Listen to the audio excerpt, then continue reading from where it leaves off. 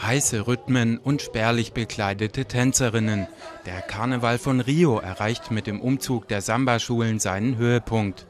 Im Sambodrom tanzen die 13 besten Schulen der Stadt um den Titel Champion des Karnevals.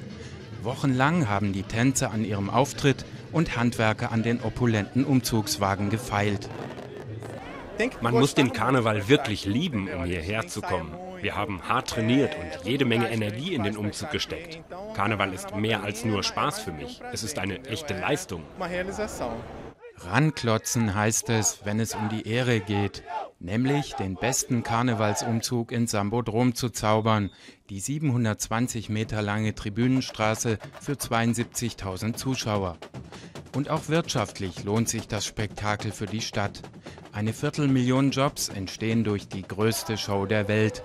Hotels, Kneipen und Restaurants machen das Geschäft des Jahres. Ich bin sehr glücklich. Das ist alles ganz toll hier.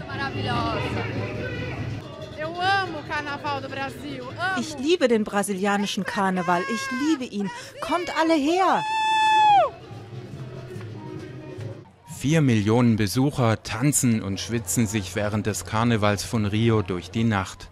Und am Aschermittwoch ist dann alles vorbei. Für das Spektakel im kommenden Jahr brauchen die Samba-Schulen dann neue Kostüme.